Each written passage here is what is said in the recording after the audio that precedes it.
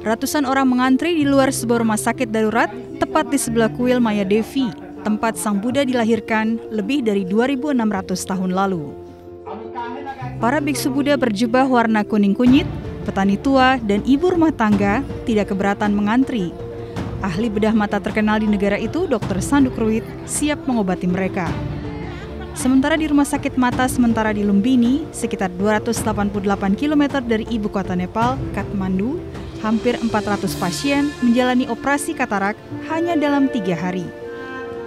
My passion and love uh, is to see uh, that there remains no people with unnecessary blind in the in this part of the world, and it's important that people do deliver, do receive uh, equitable service, and not that uh, haves receive and haven'ts don't receive it.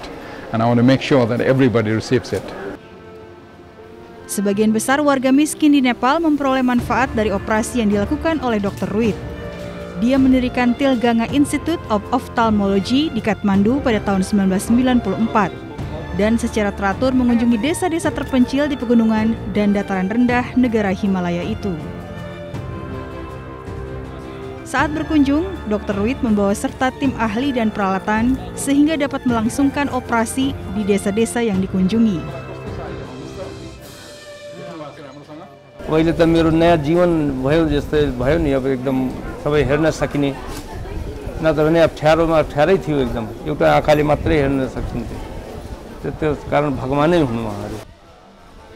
Sedangkan salah seorang pasien lainnya, Ramadari, seorang ibu rumah tangga, memiliki pandangan serupa mengenai Dr. Ruit.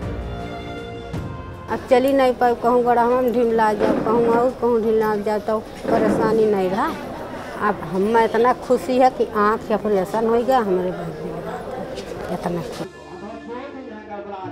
Rui telah melakukan lebih dari 130 ribu operasi katarak.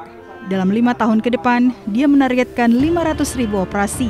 Tidak hanya di Nepal, tetapi juga di banyak negara lainnya.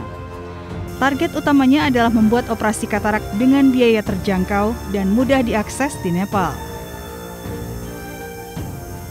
Biaya operasi rata-rata yang ditawarkan Ruit sekitar 100 dolar Amerika atau sekitar 1,4 juta rupiah. Operasi ini gratis bagi mereka yang tidak mampu.